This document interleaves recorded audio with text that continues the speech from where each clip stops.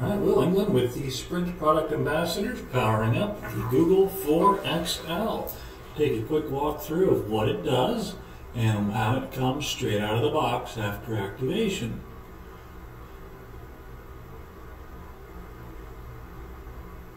Bloop. Pretty colors. We like pretty colors. Hi there. So we're going to start.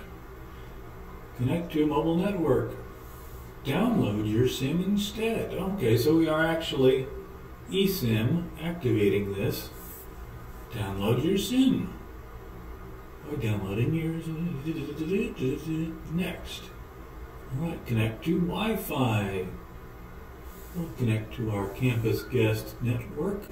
Alright, so it did actually connect to our guest network, which was fantastic. This is how eSIMs work. They connect to Wi-Fi, and then over the Wi-Fi, they download your SIM information, confirm your network. Oh yes, I'm on Sprint. Okay. Sprint loading, setting up service.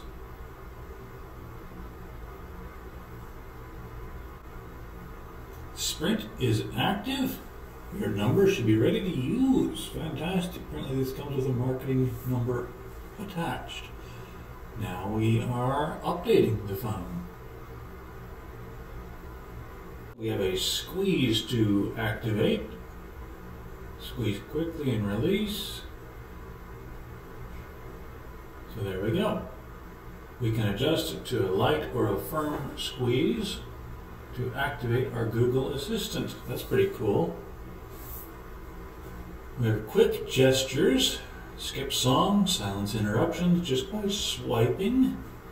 So we will use a motion sense, whatever on earth that is. Next, when you're nearby, the display turns on. Face unlock recognizes you as soon as you reach for the phone.